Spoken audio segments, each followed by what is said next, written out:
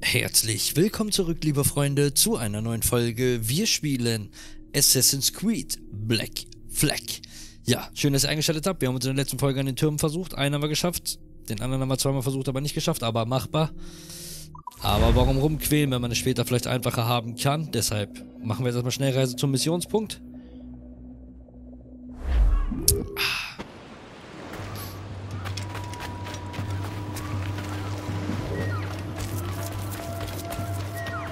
Okay, ich darf mich frei bewegen.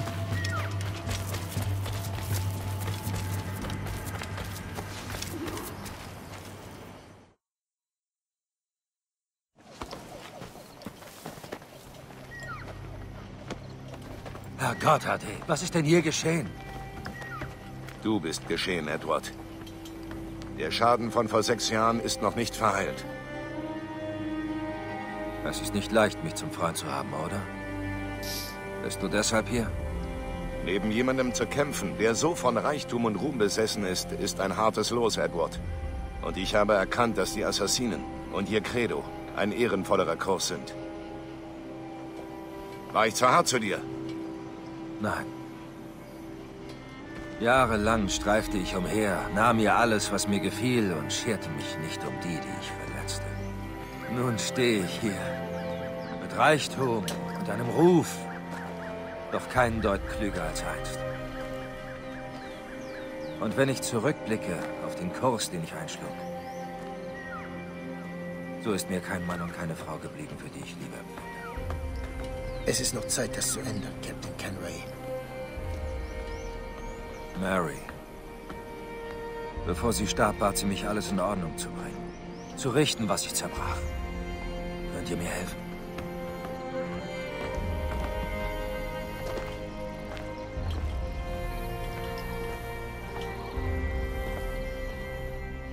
Mary hat euch sehr gern gehabt, Edward. Sie sah etwas in eurer Haltung, das ihr Hoffnung gab, ihr würdet euch uns eines Tages anschließen. Ei, das sagte sie. Und was haltet ihr von unserem Credo? Schwer zu sagen. Denn wenn gar nichts wahr ist, warum noch an irgendwas glauben? Und wenn wahrhaft alles erlaubt ist, warum nicht jeder Laune folgen? Ja, warum nicht? Es mag sein, dass diese Idee nur der Ursprung einer Weisheit ist nicht seine finale Form. Ein gewaltiger Fortschritt gegenüber dem Edward, den ich vor vielen Jahren traf.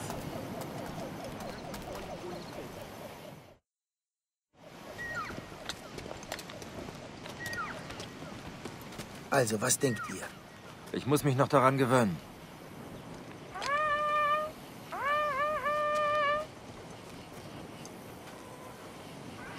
Der zweite Angriff diesen Monat. Ich hätte schon vor Jahren umsiedeln sollen. Ich habe das alles zu verantworten. Doch nun werde ich euch beistehen. Es bedarf mehr als ein paar Gefallen, um ein wahrer Assassine zu sein, Edward. Ein Schritt nach dem anderen.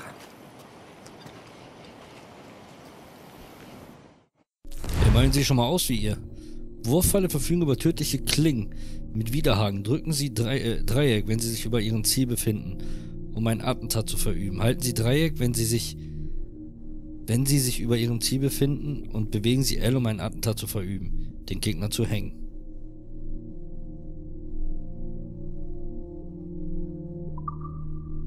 Zielen Sie auf einen Gegner und drücken Sie Dreieck, um ihn zu sich heranzuziehen. Drücken Sie dann Viereck, um ihn zu schlagen. Ein weiterer Angriff. Kommt. Komm. Oha. Zum Strand. Hallo, zum Strand. Habt ihr nicht gehört? Bleibt nah, Edward. Folgt mir nach.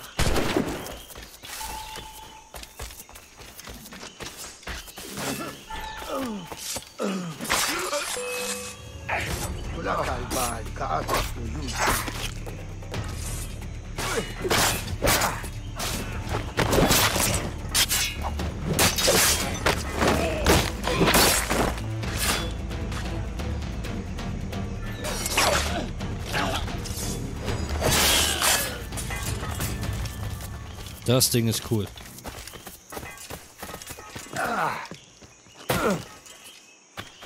¡Venceremos a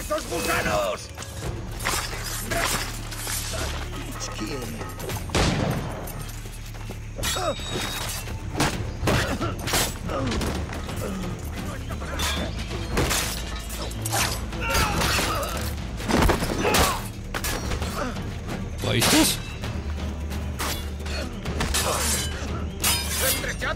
Hau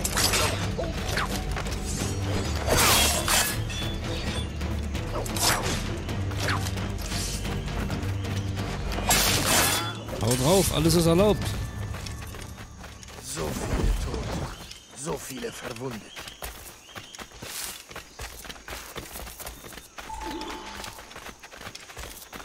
Schön, dich hier zu sehen, Bruder. Sauber, Edward. Sie verdienen einen gnädigen Tod.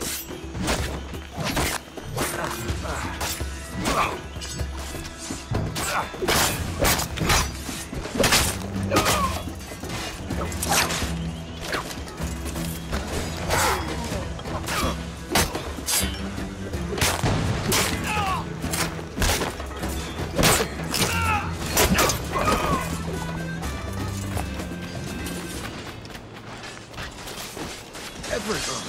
den Mann, der diesen Angriff führte.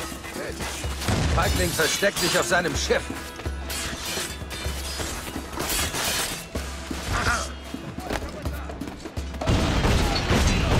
Ja, prima.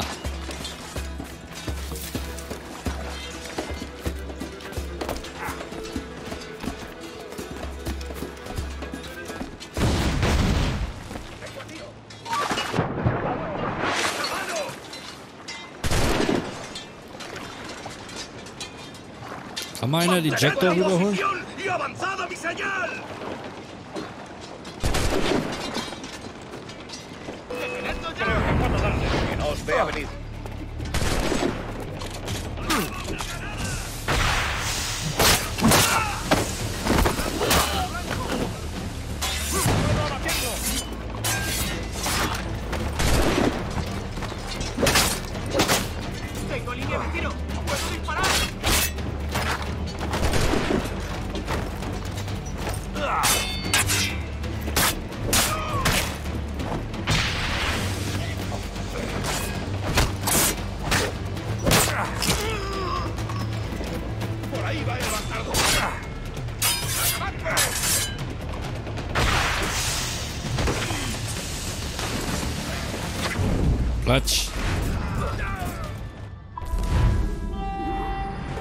Alles ist erlaubt. Hat mir gut gefallen.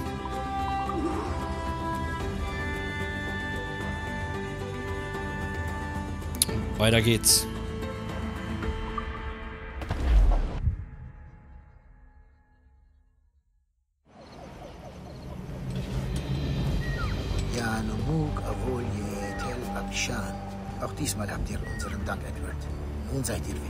Hab Dank, Sir. Ich ruhe mich etwas aus vor der Weiterreise, wenn ich darf. Wie geht's Ihrem Kind? Sie ist sehr stark, aber nicht unbesiegbar.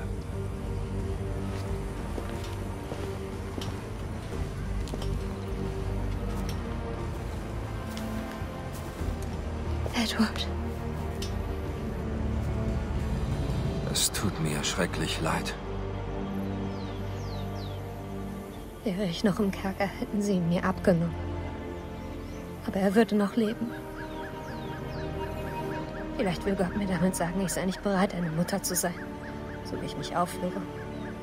Fluchen und trinken und kämpfen. Du hast ein Kämpferherz, Ei.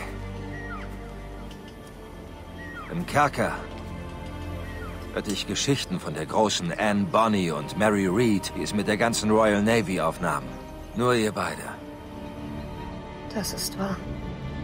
Und wir hätten gewonnen, wenn Jack und die Jungs nicht betrunken unter Deck gelegen hätten.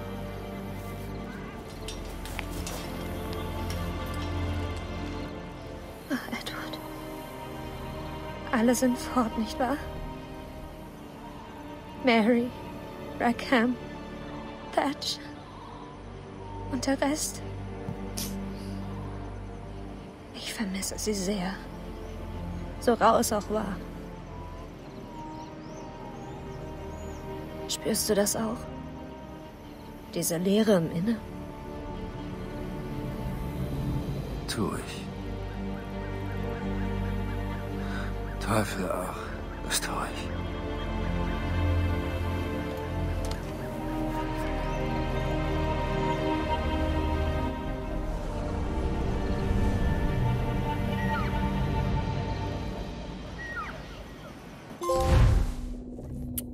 Lange am Boden. Ah ne, so lange am Boden. So. Sequenz 11. Es gibt nur 12. Es gibt nicht 14. Glaube ich, habe irgendwo gesagt 14 oder 13. Es gibt 12. Glaube ich. Ilavache. Ich weiß sehr wohl, wie meine Ziele aussehen. Doch wie finde ich sie? Wir haben Spione und Helfer in jeder Stadt. Besucht unsere Büros, dort bekommt ihr Hilfe. Das gilt für Torres und Rogers. Doch Bartholomew Roberts ist nicht in einer Stadt. Das kann Monate dauern. Oder Jahre. Doch ihr seid talentiert und habt Qualität, Captain Canway. Ich glaube, ihr findet ihn.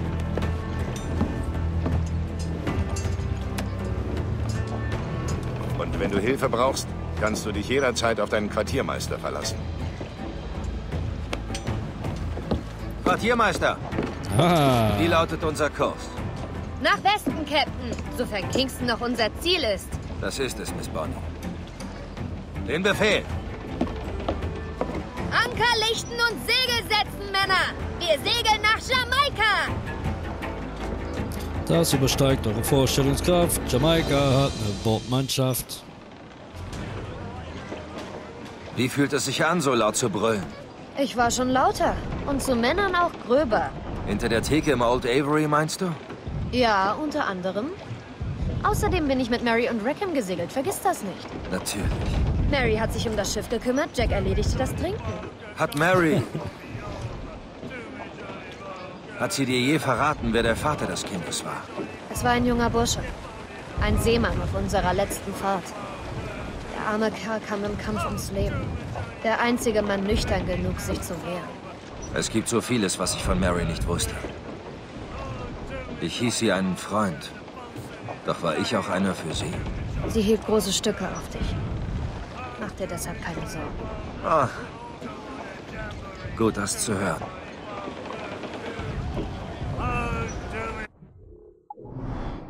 So.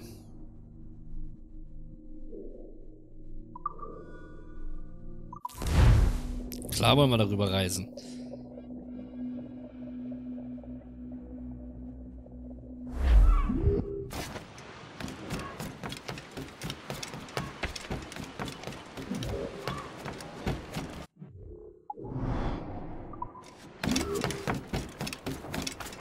Was haben wir denn noch in Kingston?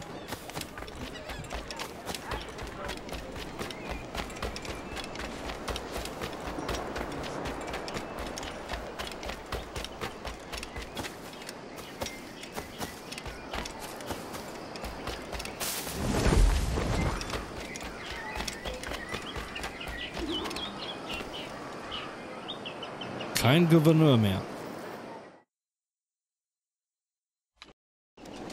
Canway, Ihr habt etwas für mich? den Aufenthaltsort des Templars Woods Rogers. Der ist auf einer kleinen politischen Feier, also seid leise. Man munkelt, King George bestellt Rogers zurück nach London. Ei, unzufrieden mit seinem Fortschritt in Nassau. Weil es immer noch zu viele Piraten gibt, habe ich gehört. Du musst dich verkleiden, um die Puderquasten auf der Feier zu täuschen. Ich schlage diesen Diplomaten vor. Ruggiero Ferraro. Der steht schon lange auf unserer Liste. Ich verstehe. Sendet ihr das hier nach England für mich? Ei, morgen läuft ein Schiff aus. Caroline Scott Kenway, Hawkins Lane, Bristol.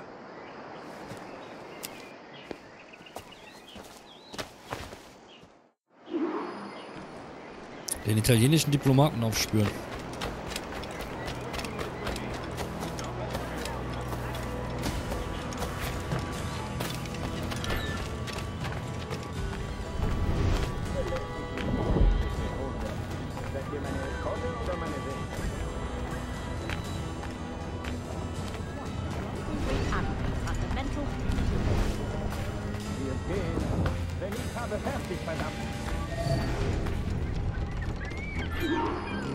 Va bene. Ich bin bereit. Gehen wir.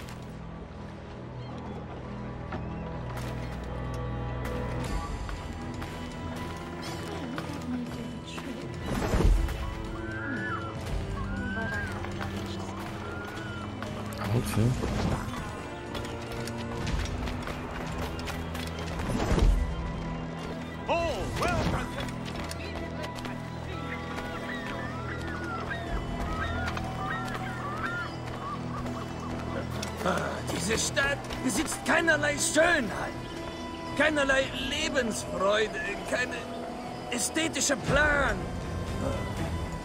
Hier lauft herum wie die Tiere, wie das Vieh ohne jeglichen Anstand. Profidetektiv hier.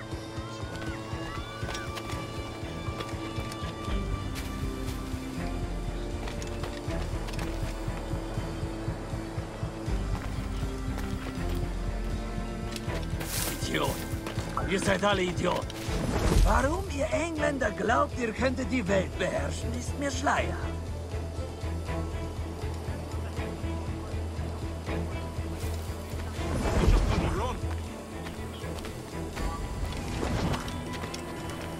Nur ihr was?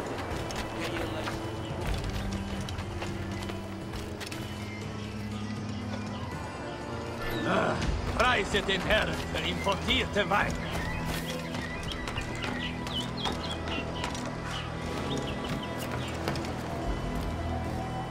Wer trinkt schon mehr als einmal im Monat? Profi.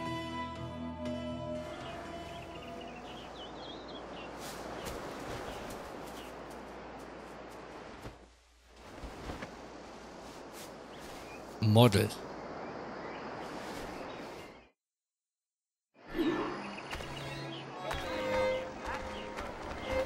Solange er verkleidet ist, ist äh, äh, Kenway, ne Edward. Auf dem Pass Incognito.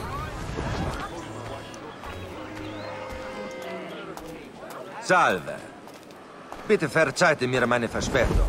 Ich bin Ruggiero Ferraro. Hi, Mr. Ferraro. Kein Problem. Danke dir. Können ja doch ganz nett sein, die Soldaten.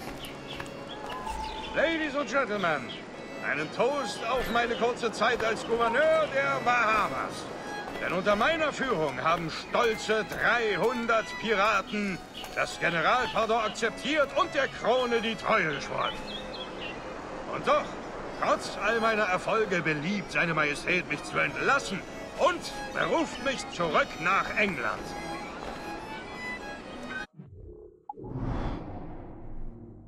Darum, Gott segne, Fatzke.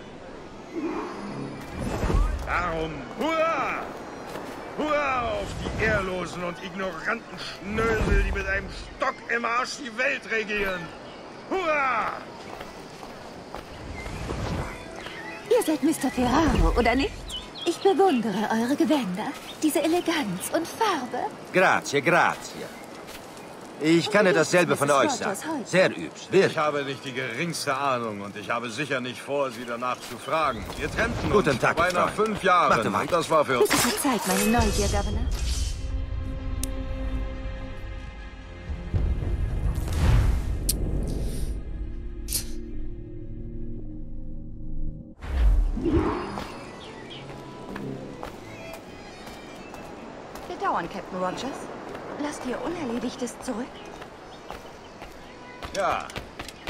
Dass ich die Instandsetzung von Nassau aus eigener Tasche zahlte. Mehr als drei Viertel der Arbeiten auf dieser vermaledeiten Insel bezahlte ich von meinem eigenen Geld. Und wenn das nicht Beweis meiner Hingabe ist, dann ist der König ein Narr.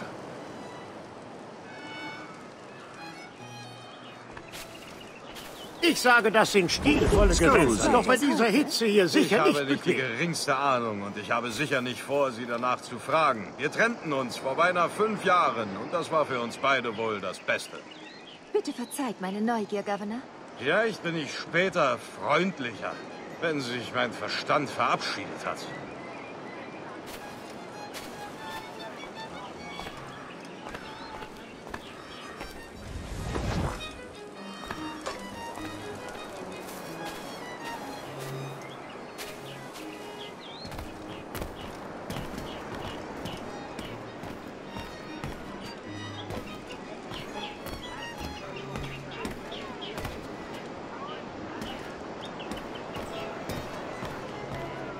Eure Entlassung ist eine Affenschande, Rogers.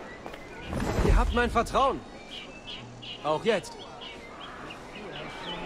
Nun, es steht noch nicht fest. Gewiss nicht. Wenn der König mich anhört, kommt er sicher zu einer vernünftigen Lösung.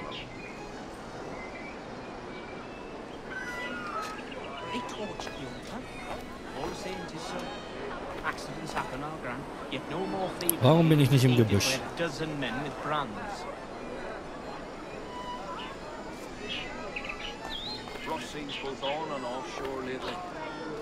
I'm not sure what's got their steam pier steeped in brine, but they've been deaf to all our proposed improvements. Geht jetzt immer den gleichen Weg, oder was? We're still holding Daniel's ship offshore. Some sort of inspection. Just hope it doesn't take too long. Fish has gotta be fresh.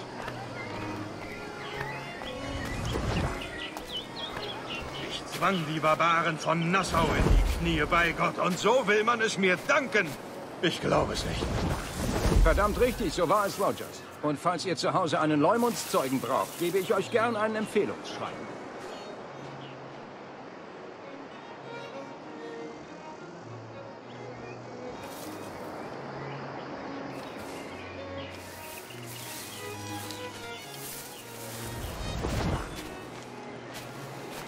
Richtet dem Gastgeber meinen Dank aus. Bitte.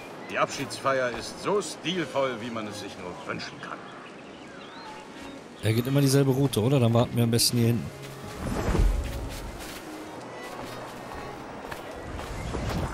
Ja.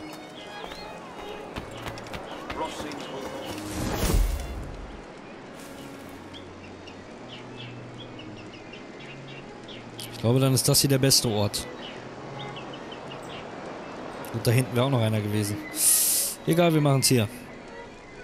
Hoffe ich.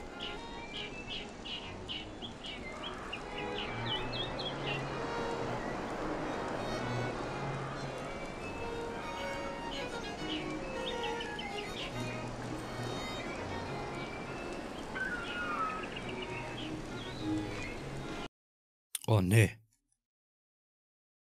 Kackt mein Spiel schon wieder ab. Also der Fernseher. Mann.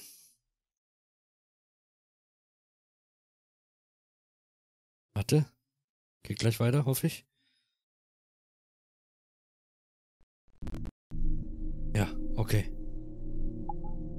Gut, hier ist auch alles da. Okay, weiter.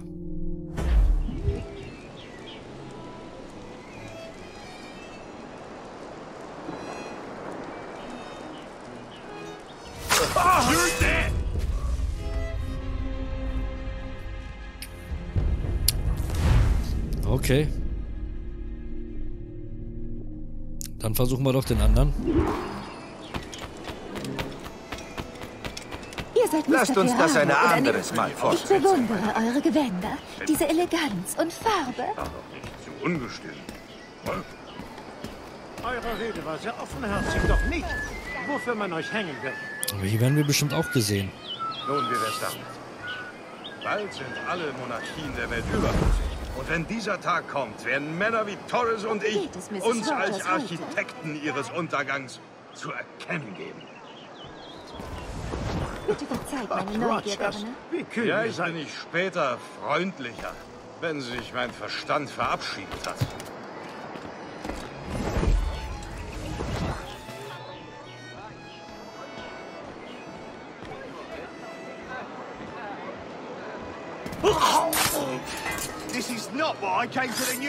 Aha. Du warst selbst ein Freibeuter. Warum hast du so wenig Respekt vor Männern, die nur ihren eigenen Weg gehen wollen? Du wirst meine Gründe niemals verstehen können, Cretin. Du, der du im Leben immer nur zerstört hast, was unsere Zivilisation groß macht. Ich kann es verstehen. Ich sah das Observatorium und kenne seine Macht. Du würdest damit doch nur spionieren, erpressen und sabotieren. Ja. Und alles für einen höheren Zweck. Für die Gerechtigkeit. Um Lügen zu ersticken und Wahrheit zu suchen. Kein Mensch auf Erden braucht eine solche Macht. Und doch erträgst du es, dass Roberts es nutzt. Nein. Ich hole es zurück. Und wenn du mir sagst, wo er ist, halte ich ihn auf.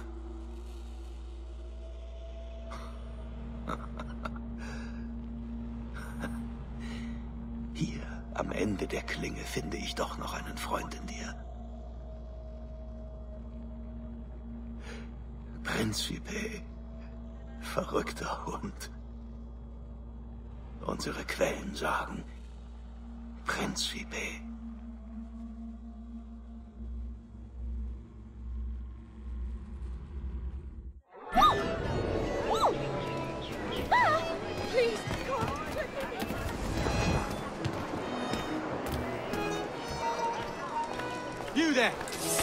Da! Der Italiener! Der war's! Die haben getrunken, die wissen gar nicht, was sie labern.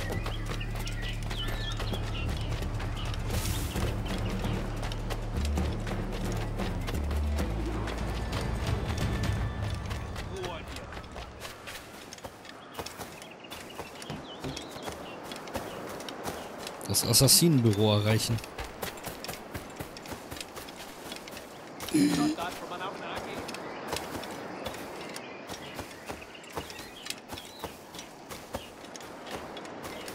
Well,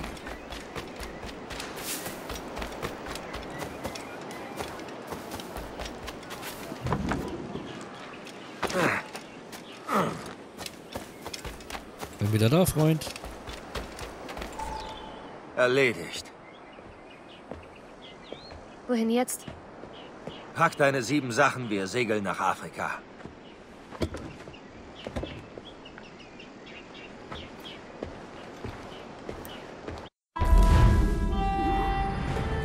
Kein Gouverneur mehr.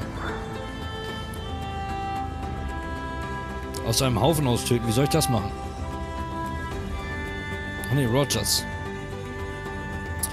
Äh, ne, ne, ne, ne, ne, ne. Dachte, dieser Diplomat war der, der mir die Sachen geklaut hat. Mir gut gefallen. Gut, okay. Ich würde sagen, die Folge beenden wir nochmal. Morgen geht's dann direkt weiter. Wir, wir nähern uns wirklich dem Ende. Traurig. Aber gut. Alles hat ein Ende. Freunde, ich hoffe, ihr seid morgen wieder mit dabei. Lasst mir was da. Passt auf euch auf. Und dann sehen wir uns morgen, würde ich sagen. Ciao, ciao.